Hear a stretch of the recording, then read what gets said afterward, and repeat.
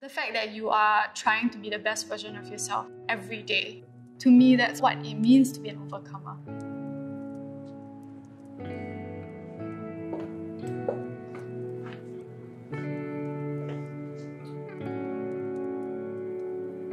Hi, my name is Danielle. Uh, I am 25 this year. I am a filmmaker. Grew up, I think, just like everybody else. I had really loving parents, family, friends. I had a really great childhood. There's an aspect in which you are growing up to become an adult. When I was studying for my O levels, like I was doing a paper, and I don't even remember what the paper was about. I just went into a mental stage of like just being blank and then just crying. When I told this to one of my friends, somebody said something like, Oh, uh, I think you're too stressed, like, uh, take a break. And somebody else said, Oh, actually, you know, I get that a lot. Nobody had the time to really be like, Wait, is this normal? Is it not? I told myself, you know, after O level finishes, I won't have any stress, then I probably wouldn't have this problem anymore. I hit an all-time low when I had an argument with my parents. I didn't want to open up to anyone. I was also in a pretty unhealthy relationship as well, not being able to have a conversation with my then boyfriend. These were moments where people couldn't understand me and I couldn't understand them either. Just thought to myself like, am I like am I just a waste of space? What happened after that was pretty quick. Like I wanted to I wanted to take my own life.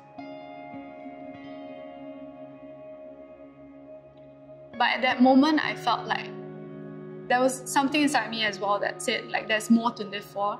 And thankfully, I mean, at that very moment, like I was given another chance to live. Essentially, that was what it was. For me, anxiety is very much like when you're looking into a picture frame, you know, there's something blurry at the side and you don't really know why it is. It kind of took up part of the frame and it was my frame, my picture. Because of that, I, I realized that like that, that something has to change, something has to give in order to receive a different result.